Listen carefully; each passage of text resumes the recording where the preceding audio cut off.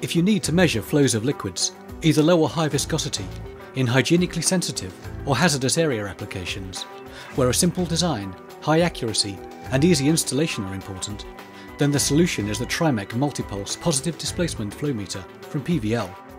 The positive displacement flow meter is the only flow measurement technology that directly measures the volume of the fluid passing through the flow meter. Trimec multipulse designs are robust and reliable, with high levels of accuracy and repeatability. Because they measure a volume precisely, it doesn't matter if the flow is pulsing, and there is no need for flow conditioning, such as straight pipe runs. Multipulse meters are suitable for use with a wide range of clean liquids, including viscous lubricants, chemicals, food bases, and non-conductive low viscosity solvents, either pumped or gravity fed.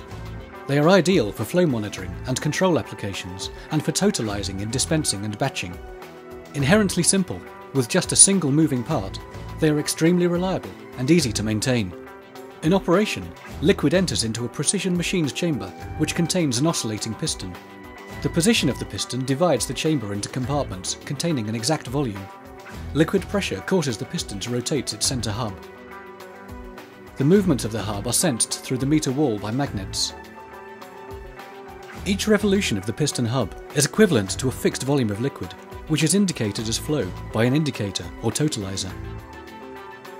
Multipulse positive displacement flow meters from PVL, precision meters for accurate and repeatable flow rate monitoring.